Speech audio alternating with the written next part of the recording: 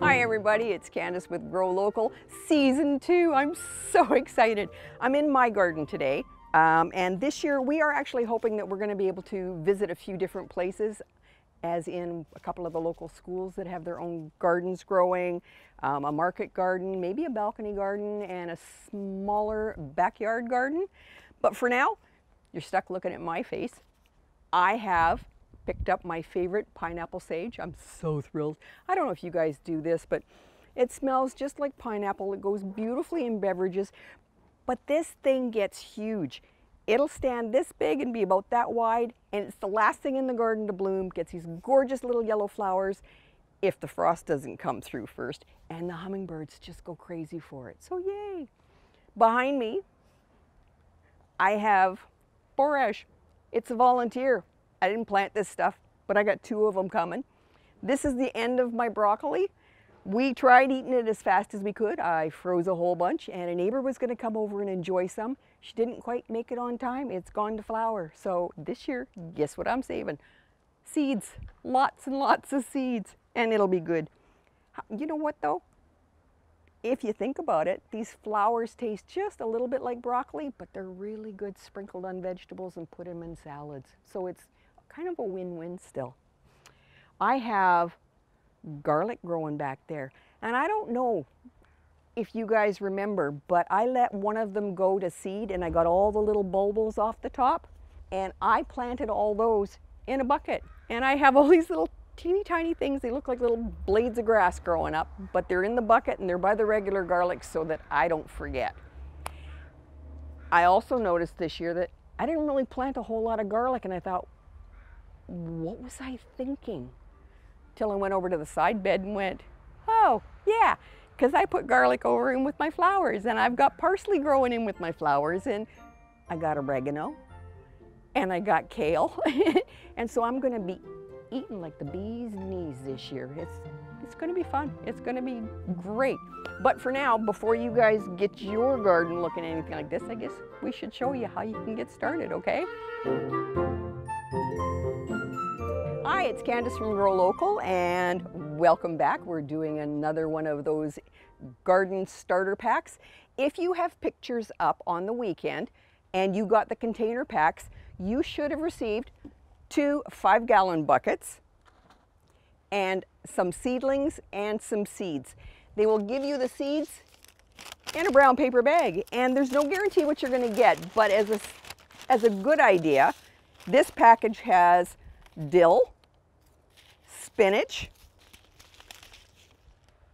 four variety lettuce blend, some radishes, and some, oh, sprouting seeds too. So you've got lots to play with when you're doing this. You'll also get a 50 liter container of soil that you can use for putting in your containers. Now I'm just gonna go through and show you how you can pot these things up. Um, but first I'd like to say, if you didn't pick up your packages, and you don't have the containers, not to worry. There's lots of things that you can probably find around the house so you can carry on and do it anyway. These, this size container, you can plant a lot of stuff in here, a whole variety of things, and it will be absolutely wonderful and easy to manipulate, and it'll just do well. However, if you don't have those kinds of containers, this is what the kids planted up. They took a green garbage bag. They poked holes in the bottom they put six inches of soil and they put their seed potatoes in. And this is how much it's grown in the last couple of weeks. When they get to this size, about a foot tall, we're gonna take soil and we're gonna pop it into the bag, roll up the edges and pop it into the bag so that it comes right up to there with soil. And that's all you need sticking out. And it'll grow some more. When your bag gets probably half full, then you can just let it carry on and grow. You'll get some flowers about 10 days after the flowers show up, you can stick your fingers in the tops of the bags and you'll probably find some little marble-sized potatoes. The kids will get excited and you're off to the races. There are also buckets like this. Sometimes the floral shops will give them away. You just have to make sure that you put holes in the bottom. Or you can hit the dollar store and get waste paper baskets. You might have ice cream tubs. You might have the infamous general store buckets that you get. Oh, what do you get in them? Uh, you get them empty. That's all I do. I go buy the empty bucket and put a lid on it. You can use your flower baskets. This is just a window box and it has a Swiss chard, a pansy, parsley, some lobelia, and this is one of those little mouse melons or cucamelons that can grow to be like 10 feet tall. So it's kind of fun. And here you have it, edible and ornamental. Now we'll go back to planting. Big bucket, big bag of soil. I filled the other one up already. I didn't really think you needed to watch me do that. You'll firm the soil in a little bit. You don't want to make it like a brick. Don't go pushing down so hard that the new roots aren't going to be able to get in there. And I did cheat a little bit. I took it out of one bag and out of the other bag. You will also want to make sure that your soil probably, it, it, never goes more than half an inch to an inch from the top. And the reason for that is when you go to water it, you want the water to be able to puddle in here and stay in here and soak through, not run off the top and all over the patio or the balcony and down onto your neighbors. So in this one, this is where we would plant some of the seeds. And one of your seedlings that you might get is a Swiss chard. And this is a rainbow. And it gets fairly deep roots, fairly thick. And he gets to be quite a large plant. He can grow up to about that size, okay? So you want to give him room. He may never get to that size if you keep coming and cutting off the leaves like you're supposed to do and enjoying it. It just keeps growing new ones. You might get some onions. And if you're wondering why mine are like this and not in pots, we didn't actually have access to the seedlings yet. We haven't picked them up. So I'm pulling stuff out of my garden and just showing you, just so you have an idea. So there, I've tucked in some onions and I've got some Swiss chard. I'm gonna put in my favorite, you guys know that from last year if you were here. There's my nasturtium. because the leaves taste lovely and peppery. They're really good in salads. And then what do I want? I think I'm going to pop in some radishes. These ones are really good if you're starting to do this with kids because they grow really fast. It's only like a month and they're ready to eat. The seeds are large enough for small fingers to handle. And if you were to throw some carrots in here with the radishes, when the radishes are done, you pop it out and now it's got, it's left a hole and a space for your carrots to fill in. So I've got just some radishes here and you've got options, you guys. You can make little rows if you want, or you can just scatter them. And that's all I'm gonna do is just scatter them. They'll come up when they're ready and you can pull them when they're ready. So that would be bucket number one. It doesn't look like a whole lot right now, but it is gonna grow. Your onions are gonna get bigger. If you've got the, the green ones, you can just snip some of the tops. You might have chives. You can snip those all year. I do have chives growing in the corner over here, and they're just starting to bud. And those flowers, you can use those in your salads too, but Please remember to leave a few of them on the plant because they are really good. They attract the beneficial insects that you want to have in your garden for pollinating and eating the bad bugs that are going after your stuff. In the second bucket, this is usually the one that you're going to plant your tomato in. And I'm not sure what size the seedlings are that you're going to get, but I've got two sizes here. I'm going to plant this one Again, a lot of times you wouldn't plant it quite this early. It depends on what the weather's going to be like. Most people don't plant their tomatoes until the very end of May. Uh, if it gets crummy weather, then they just stay stunted and the ones you plant later boot up and they end up all the same size anyway. So just play it by ear. If you've got two tomatoes, do one in one pot, do one in another pot. Check the times and see what works for you. Now when you take these out, I'll tell kids to do an L for love because plants love to be protected in this web. This is where you would put the stem of the plant. So they will put their hand on top of the pot so that the stem's right in there. Then they just use their hand as a plate. They tip it over, squeeze the pot to loosen the soil, and when they pull the pot off, they have the root ball in their hand. They haven't broken any stems, they haven't pulled any leaves off. One of the things about tomatoes is they have little hairs growing all up the sides. And the deeper you plant the tomato, the more roots you're gonna have uh, coming off and the sturdier it will be in the pot. So I'm gonna actually plant it up to here. I'm just gonna pinch these guys off. Make my hole. And there. He's tucked in. And what I absolutely love with my tomatoes is basil. And again, you can get different kinds of basil. This one is from, well, this one's from Grow Local, West Coast Seeds. And you'll see that the seeds are really tiny. They're just little black ones.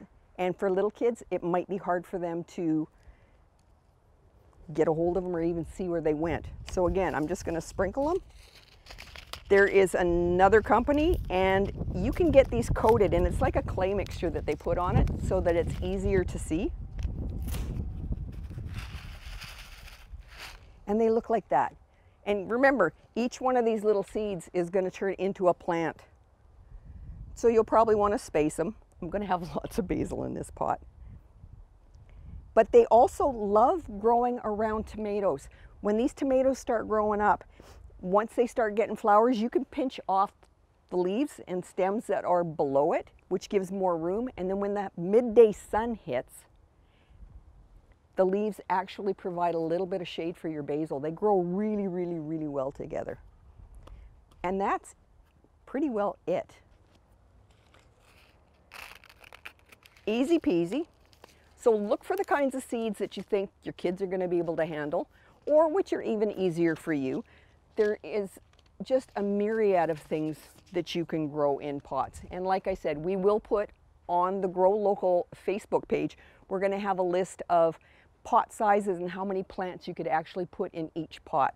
I have seen them where they have taken a pot this size and they have put a bamboo stick in the middle, put three pole beans around it, and then they made a circle of all these pots and had everything meet in the in the center. It's great if you're renting and you're not allowed to dig in the garden. And if you do it that way too, then when it all fills in, the kids kind of have a tent that they can go into and read their books, hide from the sun, have a break. So anyway, there you are. Those are the container packs from Grow Local this year. Thanks. Hi, it's Candyse with Grow Local. And if this year you picked up your in-ground container packs, what you should have are a couple of tomato seedlings, a couple of kale, maybe some onions, and you will have a bunch of seeds. You might have, this is a sample bag, not all of them are, will have been the same, but you will have bush beans, lettuce,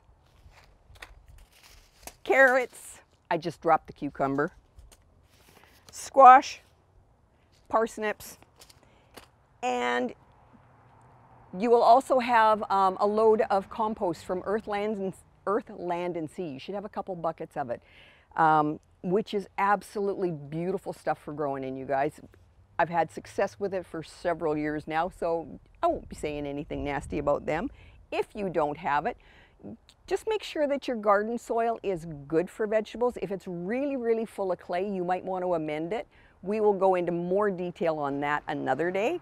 Um, but for now, what you just want to make sure is that you've got nice, loose soil.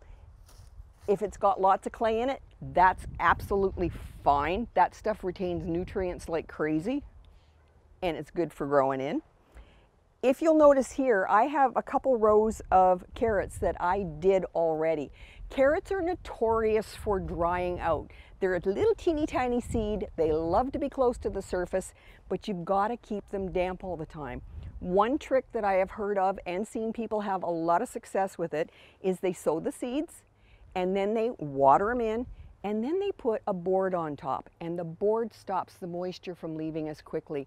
And you just keep picking that board up every day and after a couple of weeks, all of a sudden you're gonna see little green things starting to come up. Then get rid of the board and they will grow just beautifully for you. Um, once they, you can sow them every couple of weeks too. If you're real big carrot eaters, you can do a couple rows, maybe three or four weeks later, do another couple rows, and then you will always have them at the right size when you're ready to eat. If you're gonna plant squash, I usually do it at the front because it trails over, and that's when I do the patty pan. Patty pan are my favorite.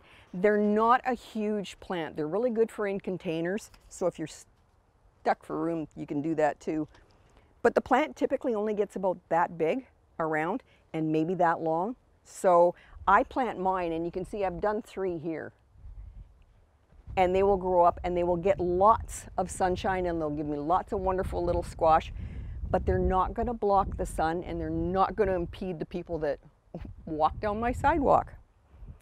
On this end, I get most of the sun, so this is typically where I grow my herbs, and I will put tomato plants and peppers down at this end too. And if you can see my big old sticks, I'm going to be putting wire and I'll run the wire from here over to the other bed. And in front of that, that's where I'm going to be growing my peas and they grow up. You could do that with your cucumbers. You can do that if you've got the zucchini squash, the regular long green ones. They are really good for trellising. Keeps the bugs away for the most part. It's clean and you get more bang for your buck because you still got lots more space for growing. And like I said, I'm going to be having tomatoes and peppers and what will look like way too much basil but is never enough in this bed. So on that note, it's easy peasy. Just think what you want to eat the most of. Think, think about when you want to eat it and not run out. And think about how the sun is going to hit and where you're going to walk. And you're good to go.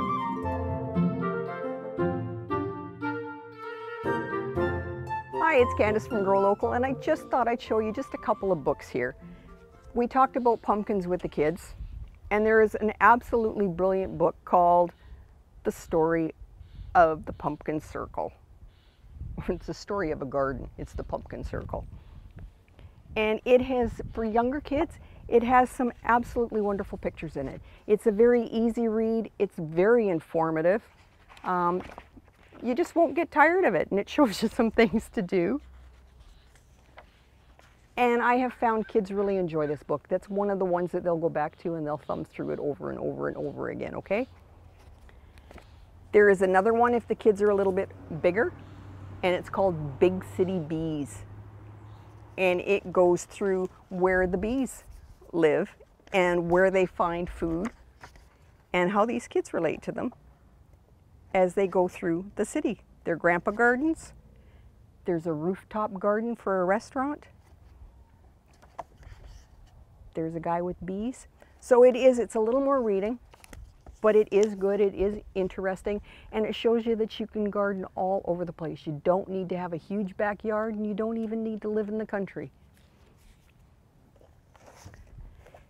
This is another book. She actually, this woman, her name is Sharon Lovejoy.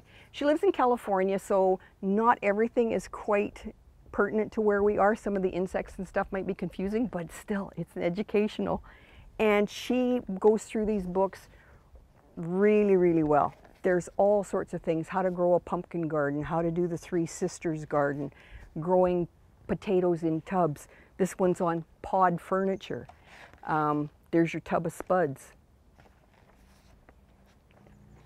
Getting ready and how to care for your garden. All sorts of short things, but really good to know, can take it with you for your life kind of um, information and projects. And it's really, it's one of my favorites. She's got two others that go more with the, uh, the stories and the projects that you can do with the kids.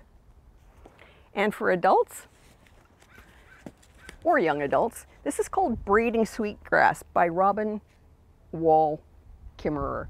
I love her. It's like reading poetry. She is so brilliant. You just want to get your fingers in the soil and you understand how these things work together really, really well. It's indigenous wisdom, scientific knowledge, and the teaching of plants. Um, when she talks, she paints pictures. You can, you can feel it. You just want to get outside and, and explore. Um, and if you can look at all the little paper clips I've got in here, those are all things that I just keep going back to because I really, I found them interesting. I, they're tidbits that I love sharing with kids. So an easy read, but highly educational, and I think you'd really enjoy it. The other one I have is Eliot Coleman's new organic grower. This is probably more for people that are growing bigger gardens, um, slightly larger scale, but it worked for me and it's got all sorts of information in it that you'll find really, really helpful and viable. And it's organic, so you'll learn that the less expensive ways of doing things. I'm showing you this book because I used to have his The Four Season Harvest, which was my all-time favorite of his, but I lent it out and it hasn't returned yet. And it's been a couple years now, so I think I have to buy it again. But he is absolutely brilliant. He's very well known in his field. And he can get very, very technical. Some of you will like it. Some of you will skip those pages and just go to the ones that you want to see.